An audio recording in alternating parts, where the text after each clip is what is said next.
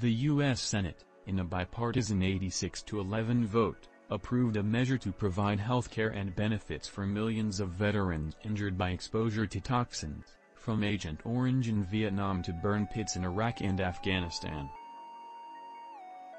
Known as the PACT Act, the bill no longer would force generations of veterans to prove that their illness was caused by toxic exposures suffered in the military in order to get VA coverage.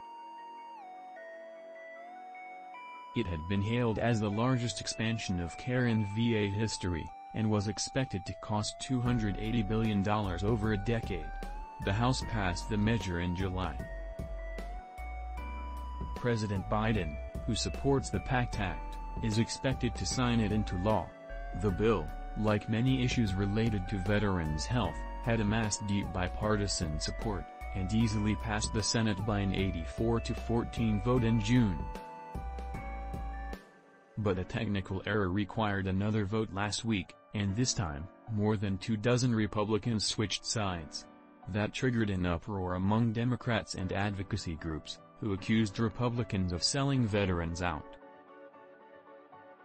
Republicans said their opposition was tied to an argument over which portion of the federal budget would pay for $280 billion worth of funds for veteran health programs. But Democratic lawmakers contended that the about-face came just after Democrats reached an agreement of their own on a separate reconciliation bill.